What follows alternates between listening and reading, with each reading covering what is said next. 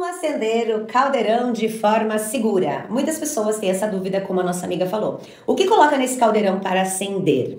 Gente, caldeirão, vela é maravilhoso para fazermos nossas magias, mas precisamos ter determinados cuidados por causa do fogo. Primeira coisa, nunca coloque o caldeirão assim, ó, direto numa base que tenha toalha, porque é perigoso, é, queima a toalha. Então sempre coloca numa base assim, ó, com uma louça ou numa base de mármore, que daí é seguro.